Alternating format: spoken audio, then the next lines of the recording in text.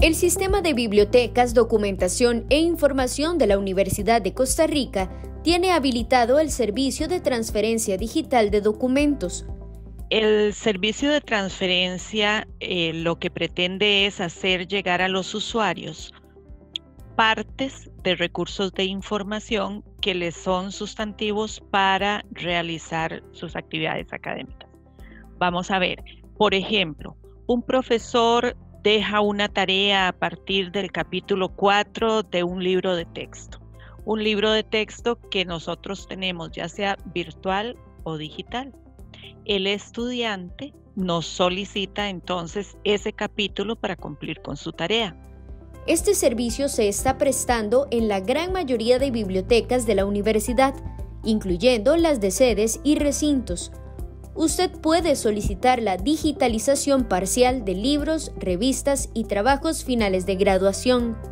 Incluso se está apoyando con materiales a personas con discapacidad visual.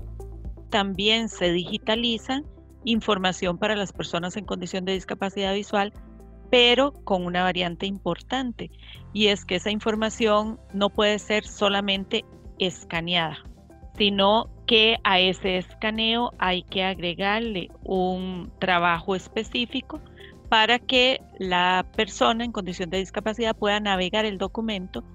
Si usted desea más información sobre cómo solicitar el servicio, puede encontrarla en las redes sociales del CIPDI, en Facebook, Instagram y YouTube. En ellas podrá encontrar tutoriales cortos. Si usted es docente o estudiante de otra universidad, también puede solicitarle material a las bibliotecas de la UCR.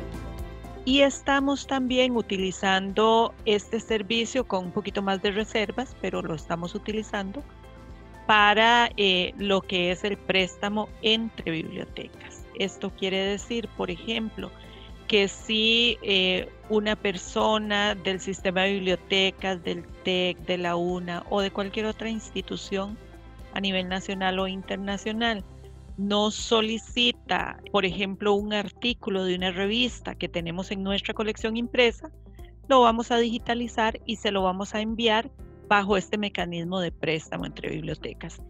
Las bibliotecas de la Universidad de Costa Rica están trabajando de manera continua en horario regular hasta las 7 de la noche y siguen atendiendo los días sábados.